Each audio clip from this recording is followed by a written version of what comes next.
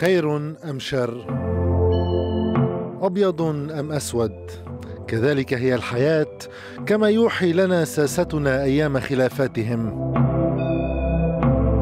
لأنهم يرون أنفسهم أكبر من لبنان شو علاقة رئيس سعد الحريري بالصراع العربي الإيراني اللي عم يحكي عنه؟ شو خصك؟ أنت شو خصك؟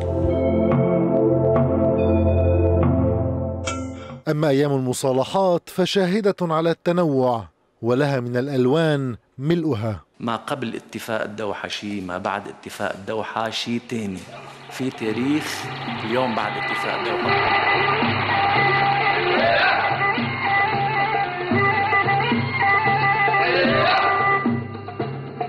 وأعمل في سبيل تحقيق أوسع مشاركة وطنية وأجعل من الحوار قاعدة.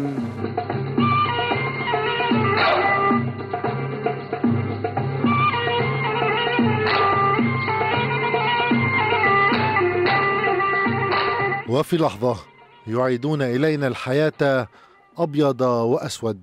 الحارس بلش بيتحرش فينا. بس أكيد غير صحيح يعني هي وقائع غير صحيحة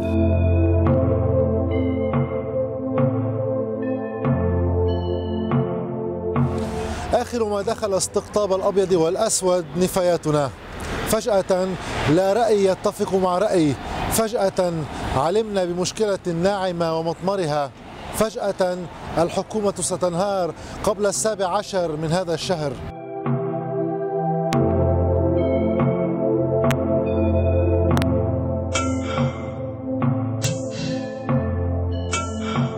الصحفي في جريدة الأخبار بسام القنطار متابع لملف النفايات في لبنان في عهود الألوان كما في عهود الأبيض والأسود. عم نحكي نحن عن خطط النفايات أو نفايات الخطط.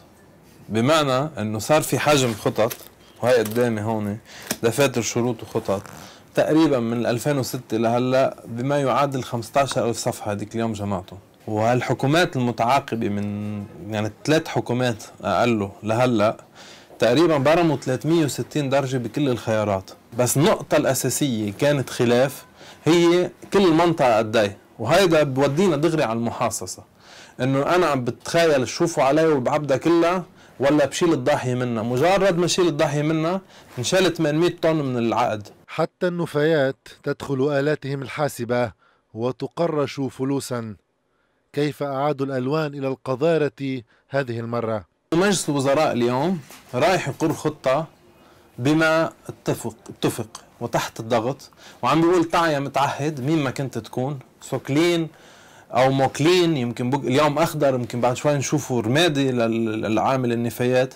مش مهم التسمية مين مش مهم شو عم يلبس عامل النظافة.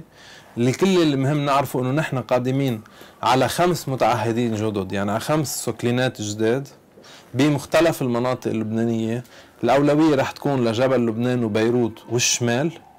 ما بنعرف شو السعر. شو الكلفة؟ وما بنعرف إذا فعلا هالمتعهد قادر يوصل إنه يلاقي مكان ليعمل فيه مركز معالجة ومكان تاني ليطمر فيه النفايات. ما بنعرف كيف بده يعالج بأي كلفة قد إيه بده يطم وين بده يطم